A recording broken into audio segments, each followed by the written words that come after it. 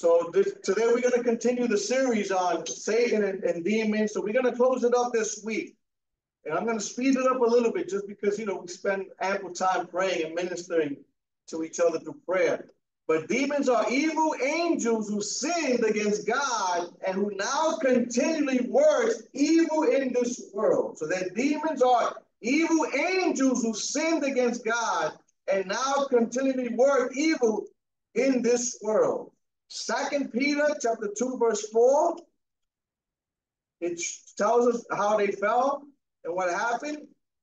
It says, if God did not spare angels when they sinned, but sent them to hell, putting them into gloomy dungeons to be held for judgment. So their habitation now is in hell. Not that they're stuck there, but that's where they dwell in hell, and then they move around on the earth to destroy humanity. Jude chapter 1, verse 6, again reiterating the same thing.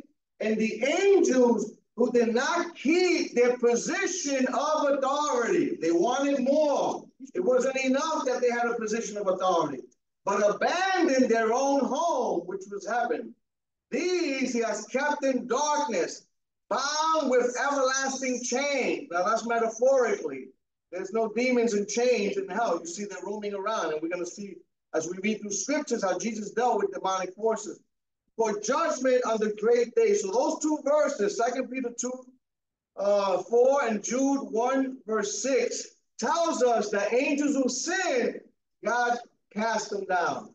And now they became demons. So we're going to see Jesus' authority over demons. In his ministry, he encountered demonic forces. So I'm just going to read these passages with not a lot of explanation or not a lot of detailed exposition because of the time. So Matthew chapter 4, verse 24, you can just write these down and then look at them at home. It says, news about spread all over Syria and people brought to him all who were ill with various diseases. Those suffering severe pain, the demon possessed, those having seizures, and the paralyzed, and he healed them.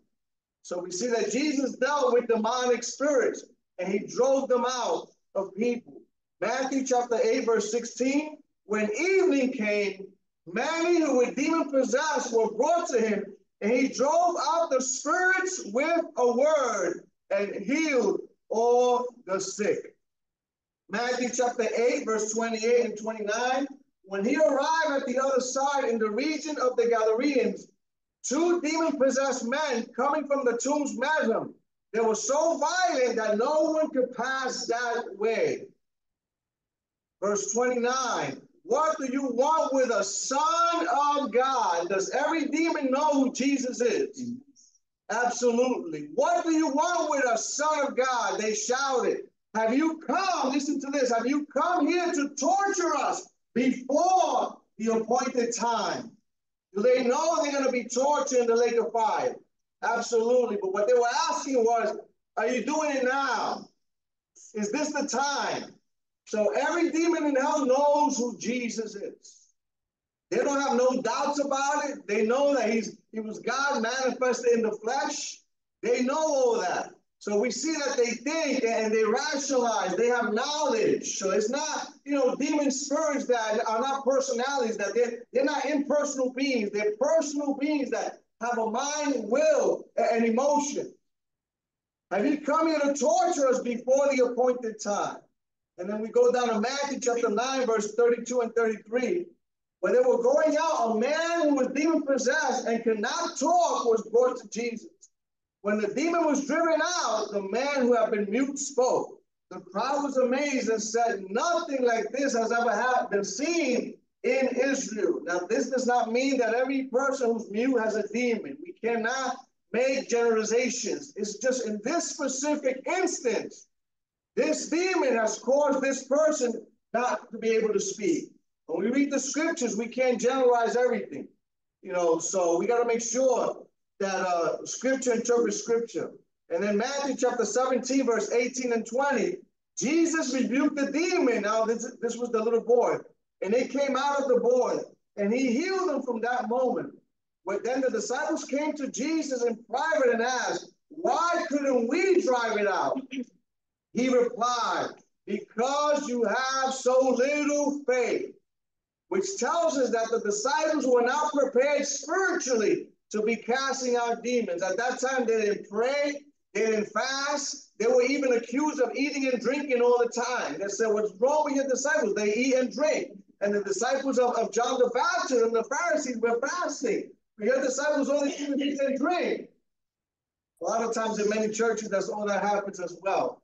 We got to take time to fast. So at this time, they were not ready to deal with this demonic spirit. But Jesus told them, because have so little faith. So our faith has to, has to do with casting out demons. I tell you the truth, if you have faith as small as a mustard seed, you can say to this mountain, move from here to there, and it will move. Nothing will be impossible for you. And then verse 21, some translations add, however, this kind does not come out except through prayer and fasting. So a man and a woman that lives a lifestyle of prayer and occasionally fast, they're prepared spiritually to deal with demonic forces. They are filled with the Spirit of God. They're empowered by God's Spirit to be able to speak to that demon and command them to leave in Jesus' name. At this time, the apostles were not doing that. They were not ready with this particular uh, demon. Luke chapter 4, verse 33 and 35. In the synagogue, or we can translate that in church, there was a man possessed by a demon and evil spirit. So it's the same thing. A demon or evil spirit is the same thing. He cried out at the top of his voice, What do you want with us? Jesus of Nazareth, have you come to destroy us? I know who you are, the Holy One of God. Every demon acknowledges who Jesus is. And as he was preaching in that synagogue, that man with the demon began to speak through him. He said, We know who you are, the Holy One of God. Are you here to destroy us? They know that they're one day eventually going to be destroyed. They thought it was at this moment. That's why they asked the question. Is it is at this time now? I know who you are, the Holy One of God. So demons know that Christ was God manifest in the flesh. They know the deity of Christ. Now, if they know that, well, they try to prevent people from believing that Jesus Christ is the Son of God. They know that salvation is only through the person and work of Jesus Christ. They know that. We, as you read the Gospels, I'm only reading a few scriptures. There's so much scriptures that talk about his confrontation with demon spirits, but they know that. So they're going to try everything in their power to try to hinder people from believing that Jesus Christ is the Son of God. And Jesus told them, Be quiet, come out of him. The demon threw the man down before them all and came out without injuring him. So now we're going to see that was Jesus' authority over demons. Now we're going to see that he gave the 12 apostles authority to drive out demons. So Jesus had the authority, the 12 apostles have the authority. In Luke chapter 9, verse 1 and 2, when Jesus had called the 12 together, he gave them power and authority to drive out all demons and to cure diseases. And he sent them out to preach the kingdom of God and to heal the sick. Now, I want you to know that he gave them the power to drive out demons. But once Jesus resurrected from the dead, now they had to pray, they had to fast on their own. It's easy hanging out and eating and drinking and going to Jesus. Give me that power. So he kind of transferred his power to them. A lot of times we want people to do for us what we need to do for ourselves. At this time, to put it, you know, in street words, they were freeloading off of Jesus' power. They didn't have to do anything. There was a banquet, they ate and drank, turned water into wine, feasting. Jesus sent them out, gave them the power. We didn't need, they didn't need to pray, they didn't need to fast, they didn't need to be in the word. Jesus gave me your power and I'll go out. But when Jesus resurrected, all that changed. They realized we need to be in prayer, we need to be fasting, we need to be in the word. So he sent them out and they drove out a lot of demons. So he sends out the 12, but now Jesus sends out 72 disciples and gives them authority to drive out demons. So first him, then he says 12, then 72 is increasing. It says in Luke chapter 10, verse 1, after this, the Lord appointed 72 others and sent them two by two ahead of him to every town and place where he was about to go. And in verse 17, they went. Then the 72 returned with joy and said, Lord, Even the demons submit to us in your name. They listen to us because of your name. Jesus replied, I saw Satan fall like lightning from heaven. I have given you authority to trample on snakes and scorpions over all the power of the enemy. Nothing, nothing will harm you. Listen to this. However, do not rejoice that the spirits submit to you, but rejoice that your names are written in heaven. In other words, don't get prideful that you have the authority to cast out demons, because then the anointing of God will not flow through them anymore. He said, Don't rejoice because of that, but rejoice because your names are written in heaven. They were ecstatic that when they lay hands on people and they said, I command you to leave in Jesus' name, demons left people's bodies. So he sends out the, uh, the 72, and that's also for us too. I recommend that you memorize Luke chapter 10, verse 19. I have given you authority to trample on serpents and scorpions and over all the power of the enemy, and nothing shall by any means hurt you. Every believer has power over the enemy. So now Jesus gives all believers authority to drive out demons. We're going to see in Acts chapter 5, verse 16, it says, Crowds gathered also from the towns around Jerusalem, bringing their sick and those tormented by evil spirits, and all of them were healed. So we see in the early church, people that were demonized, they brought them to the church, and the apostles lay hands on them. And now we see Philip, who was a deacon. Philip was a deacon. He's not called an evangelist until all the way in uh, Acts chapter 20. Philip went down to the city of Samaria and proclaimed Christ there. Acts chapter 8, verse 5 through 8. When the crowds heard Philip and saw the miraculous signs he did, they all paid close attention to what he said. With shrieks, evil spirits came out of many, and many par paralytics and cripples were healed.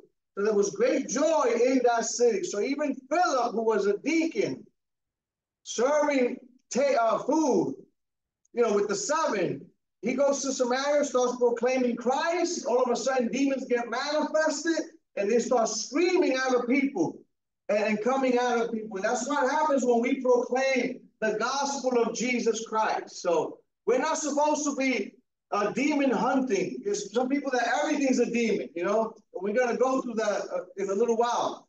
But when you preach the gospel, if there's a manifestation, then you deal with it.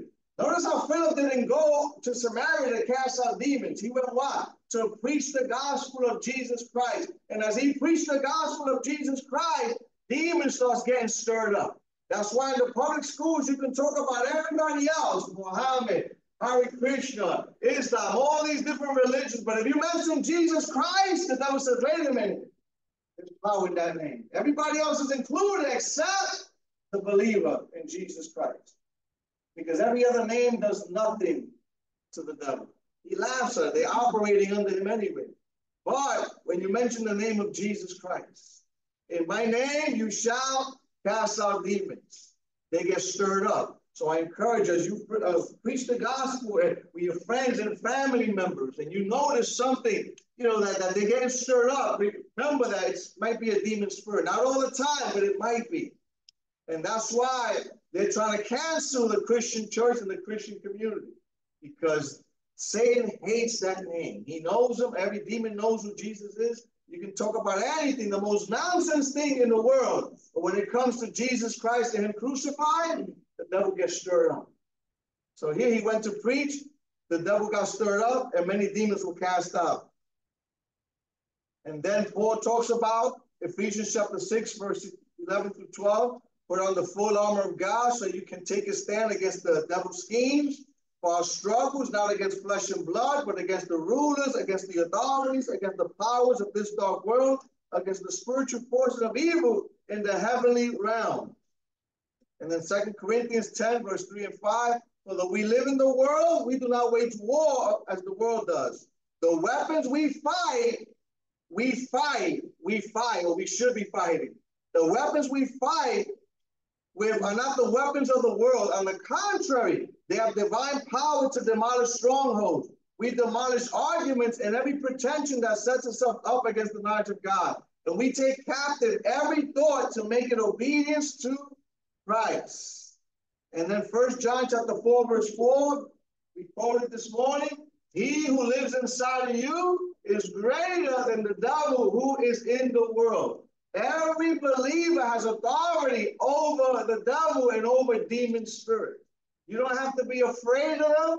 You don't have to be paranoid of them. The power of God in you is greater than any power of the enemy. He has no control over the believer.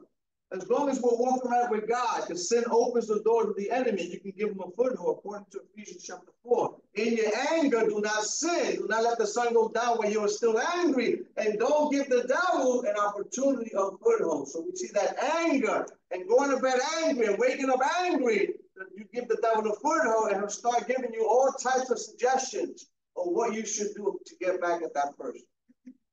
And the most crazy things can come to your mind. So those are just scriptures very quickly. We didn't have time to go. But now I want to talk about practically. What is the link between false gods and demonic forces? The link between false gods or idols and demonic forces. So the people of Israel in the Old Testament often sinned by serving false gods. And when we realize that these false gods were really demonic forces, listen to these scriptures Deuteronomy chapter 32, verse 16 and 17. Israel fell into the trap of worshiping the idols that the nations around them were worshiping. Instead of being aligned, instead of pointing people to Yahweh, they adopted the, the customs and the culture of the world and they began doing the same thing the world was doing. God had called them to be different, to be distinct, to be a testimony of who God was, but they got assimilated into the culture. And when they get assimilated into a culture, eventually they got driven out of their land. And the same thing applies to the church today. Instead of us influencing the culture, which we should, we should not allow the culture to influence us. And now we want to be like the culture, we want to be the cool church and the cool Christians and you know everything the world accepts, we accept. You know, we want to be inclusive, and by that, what they mean is everybody's included. Nobody has to repent of their sins or turn to God. God includes everybody in their sin, and God does not require anybody to repent or change. That's what they mean by being inclusive. But those that claim to be inclusive will exclude the believer. So you're included as long as you're one of them. But if you don't believe like them, you're not included. So we're going to see Deuteronomy chapter 32, verse 16 and 17. Talking about the children of Israel. They made him jealous with their foreign gods and angered him with their detestable idols. Foreign gods, idols. Verse 17. They sacrifice to demons, which are not God. Gods they have not known. Gods that recently appeared. God your fathers did not fear. So they were not only worshiping idols and bowing down to them, in the background, what they were doing was actually sacrificing to demon spirits. They got involved in demonology. After knowing the true God, how are you going to bow down in front of a statue? Following the customs of the world. And now in Psalm chapter 106, verse 35 to 37, Again, talking about the Israelites. But, but they mingled with the nations and adopted their custom. They mingled with the nations and adopted their custom. We need to be the salt of the earth. We need to be the light of the world, but never ever adopt their custom. Our values come from the kingdom of heaven. Our principles come from the infallible and immutable word of God, not from the culture. They adopted their customs. Listen to this. They worshiped their idols, which became a snare to them. They sacrificed their sons and their daughters to demons. Do you imagine the Israelites? After God brought them out of Egypt, see the miracles with Moses and parting the Red Sea, manna from heaven, and now they're sacrificing their sons and daughters to this idol. And the Bible gives us revelation, they were actually sacrificing to demons, demon worship.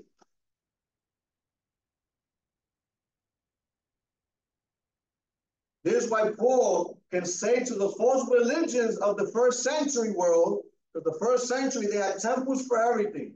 You know, the, the temple of Artemis, you know, the, the goddess of love and, and courage, they had a temple there, you know, and they had uh, the temple prostitutes, all these different things. But Paul can say this in First Corinthians chapter 10, verse 20.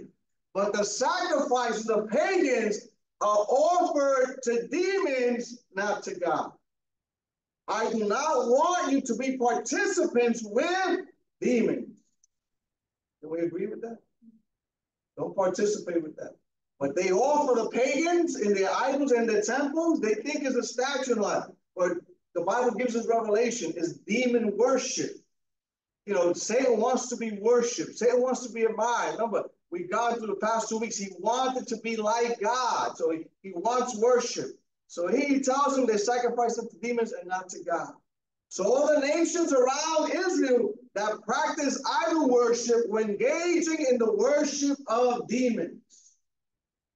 So when you read the Old Testament and you see they worship Baal and Asherah poles and all these different false gods, they're actually worshiping demons. That's what the scriptures teach us. And anyone else in today's culture who has idols and is worshiping them and all that, they're not just bowing down before a statue. There's demonic worship that goes on. They might not know it, but that's what happens. That's why uh, the Apostle John said in First John, little children, keep yourselves from idols. Stay away from that because that involves demonic spirits. So certain things about demons, practical things. Demons do not know the future, nor can they read your mind. So some people, I don't want to say, you know, they think that the devil can read their mind and know the future. Daniel chapter 2, verse 27 and 28. Daniel replied, remember when the king had that dream and he wanted to kill everybody? He told the magicians and enchanters, tell me the tell, tell me the interpretation, the dream and the interpretation. The magician says, no, tell us the dream and then we'll tell you the interpretation. Yet Nebuchadnezzar said, no, you guys think you're slick. I tell you the dream and then you make something up. You tell me the dream and the interpretation to see if you really are good enchanters. And Daniel replied, Daniel chapter 2, verse 27, there are no wise men, enchanters, magicians, or fortune tellers who can reveal the king's secret. If the devil knew the future, wouldn't he reveal it? Or if he could read Nebuchadnezzar's mind, don't you think he will reveal it to these enchanters for them to get the glory and all? But they didn't know the future. And then verse 28, but there is a God in heaven who reveals secrets. And in Isaiah chapter 46, verse 9 and 10, remember the things I have done in the past. For I alone am God, I am God, and there is none like me. Only I can tell you the future before it even happens. Only God can do that. Everything is everything I plan will come to pass. For I do whatever I wish. So psychics and fortune tellers, they don't know the future. What they can tell you is what's going on in your life because they can make certain uh, uh, predictions based on observations, or they can observe your life, right? So if somebody goes to a fortune teller, they tell them, well, what did I have for breakfast? They can tell them what they have for breakfast because they saw them eating breakfast. Right? They move around, they see, they can tell them the conversation they had last week with that person. How can they tell what conversation you had last week or somebody had that went to a psychic or fortune teller where they heard the conversation? They observe everything. They, they watch, they see, they hear. So psychics can only tell that. They can't tell them the future because the devil doesn't know the future.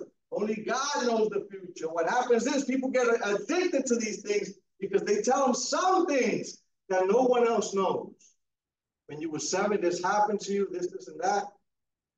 Is the does demons know that knowledge? Can they know that knowledge? They're not in hell burning right now. That's where they live and they move around. But they move around. They see people what they're eating and hearing conversations and all that, but they cannot read your mind. And they can't tell the future. Only God can read your mind. And we saw Jesus when he was on the earth.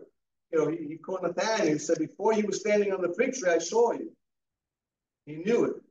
He predicted his own death. We're going to Jerusalem. The Son of Man is going to be betrayed into the hands of men. They will crucify him and bury him. On the third day, he will rise again. Only God knows the future. No demon can read your mind or, or, or, or know the future. So not all evil is from Satan or demons, but some is. Because some people blame everybody on the devil. Everything is a demon, which frees them from what? Responsibilities. I'm going to give you some scriptures to see how Paul dealt with problems in the church. For example, in 1 Corinthians chapter 1, verse 10, when there was a problem of dissension, Paul does not tell the church to rebuke the spirit of dissension, but simply urges them to, to agree and be united in the same mind and in the same judgment. So if there's dissension, Paul didn't say, you know what, rebuke that demon of dissension. No, he tells them, you guys got to agree with the same mind, and the same judgment. You guys got to get it together. He didn't blame it on the devil or demon. In First Corinthians chapter 5, when there was a problem of incest, he does not tell the Corinthians to rebuke the spirit of incest. Right? Because everything's a spirit for some people. But tells them that they ought to be outraged and that they should exercise church discipline until the offender repents. Exercise church discipline. Excommunicate that brother out of the church. And that's what they did. And then Second Corinthians, he repented. But he didn't tell me rebuke the, the, the demon of incest. He put it right where it belongs. That person was responsible for his actions. When there was a problem of Christians going to court to sue one another, again, First Corinthians 6, verse 1 to 8, big problem. Now, Corinth, that church of Corinth had, the most problems in all the New Testament church. Wrote two letters to them. So when they were suing each other, Paul does not command them to cast out the spirit of litigation or selfishness or strife, but simply tells them to settle those cases within the church and to be willing to give up their own self-interest. Again, Paul is not, that's a demon, get it out. Stop suing each other. The demon of suing, get them out in Jesus. The people are responsible. Cut this out. Knock it off. Take responsibility for your behavior because it's easy to blame the, the demon for, for things that are going on in your life. And some of it is, but a lot of it is not. A lot of it has to do with people's free will. And that's why whenever you're dealing with somebody that is struggling with, with a demonic influence, you got to ask them, do you want this thing out of your life? They might not want it. You got to learn that. I had to learn it the hard way. They not, might not be willing to give that up. And you might you might be more anxious to help them give it up than they themselves. Because they know after you pray for them, they're going to go right back to it. They have no intention of repenting or, or, or giving it up. So you got to ask because if not, you're going to pray for them. And then it happens what it says in Matthew chapter 12, verse 43. When the evil spirit comes out of a person, he goes to dry places seeking rest. He finds none. He says, I'm going to return back to the house where I came. He takes with him seven other spirits, more wicked than himself, and they go into that person, and the final condition of that person is worse than the first. You got to ask the person, do you want to be free from this? They have to be willing. That is the key. Willing, willing, willing. Because a lot of times you'll find yourself overextending yourself and wasting a lot of strength and energy and all that with people that just don't want the help. They enjoy their sin. Now, when they hit rock bottom and they say, you know what, I want to change. Will you fast with me? Will you pray with me? Show me what I need to do. I want to get this thing out of my life. Then you can help that person. So we see through the last of Paul, even when there was disorder in the Lord's Supper, they were eating before one another. They were not waiting for each other and all that. Again, Paul did not say, Corinthians, cast out the demon of disorder. He told them, cut it out. You can wait for each other. You don't have to eat before the other person. Wait for communion. Don't be embarrassing your, brother by eating first and taking the things of the Lord in an unworthy manner. He addressed them. And I want to drive this point home because for us to understand that a lot of it has to do with people's free will. Right? You're trying to minister to somebody and help them, and you're wondering why they don't want it, and this and that. Is it me? Maybe it's a demon causing and all that. Yes, there might be some demonic influence, but ultimately, they have a free will. Because if they're willing to repent and turn from that, God will set them free. God has no problem with setting anybody free. That's that's the least thing. Are the person are the people willing so we see in these four examples and not everything's a demon of incest, a demon of disorder, a demon of dissension, a demon of suing each other. None of that. Paul said, you guys cut it out and deal with it. their own free will. Stop being, you know, argumentative. Stop disagreeing. Come together, agree with one another. So not everything, like I said, is a demon. Some is. We don't want to give him more glory than he, he, he shouldn't even have. But sometimes, you know, everything's a devil, the demon, and he's getting all this credit. And meanwhile, it's the person himself. And blaming, you know, devil made me do this, it's hard, and this and that. I'm struggling with this and that. And some people do struggle, but if they don't want the help, we're not going to be able to help. Even Jesus was not able to help people who didn't want it. When he told the blind, when he looked at the blind man, he looked at him and says, What do you want me to do for you? To see what he wanted, that I may receive my sight. Do you believe I'm able to do this? Are you willing? And they said, Go and sin no more, or oh, a worse thing is going to happen to you. But is not magic that people get healed and now they can go sin and go clubbing and all that. Sin no more, not sin some more or something worse is going to happen. So Jesus' power to heal and to deliver a drug addict, a prostitute, a homosexual, a lesbian, that is easy for God. In a snap, in a, in a nanosecond, God can set somebody free that is willing, that wants freedom. But if they don't want it, they're just going through the motions and all these different things. And I had a friend who used to work in Arms Acres, which is a drug program and people were mandated there by the court. Some of them, uh, uh, most of them were, but some of them went on their own free will. He said, the biggest problems I have is those that are forced to go there because they hate everybody. They don't want to give up the drug. They don't want to be there. The court told them this or six months in jail. I'll take this, but I'm going to raise hell while I'm there. Constantly stopping fights, people punching each other. Telling me all the testimony. how to get out of there. They don't want to be there. They're not willing to give up the drugs, so no program is going to help them. You can't force somebody to give it up. And they make sure we're going to raise hell in this place. I don't want to be here. And they say, as soon as I get out, do drugs all over again.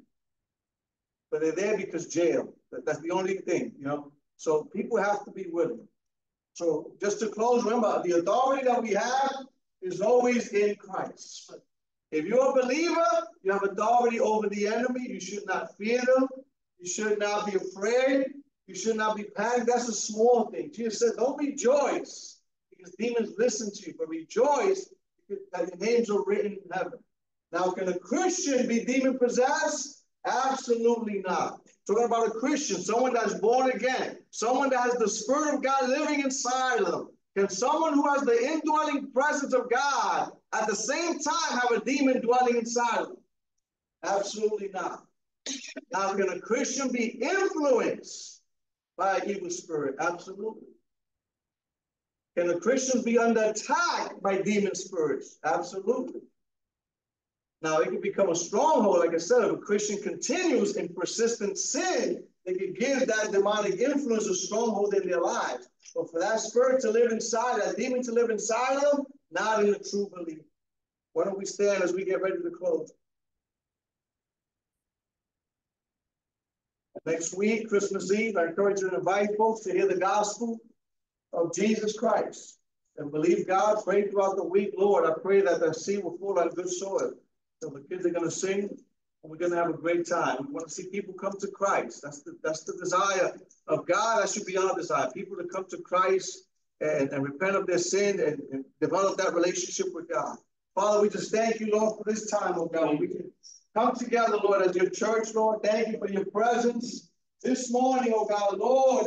It's always, oh God, with us, oh God, Lord. Thank you for your word, oh God, Lord. You've given us all things that pertain, oh God, to life and godliness, oh God. Lord, we thank you that he who is in us is greater than he who is in the world, that you've given us authority to trample on serpents and scorpions over all the power of the enemy, and nothing shall by any means hurt us. Father, we thank you that we're more than conquerors through him who loves us. Thank you, Father, that your spirit bears witness with our spirit that we are children of God. Lord, we pray that we would exercise that authority that we have, oh God, that we would not allow the defeated, oh God, enemy with his demon spirits, oh God, to try to influence our lives, oh God. When we're under attack, oh God, Lord, we pray that we would exercise the authority that you have given us, oh God, and tell them to leave in the name of Jesus.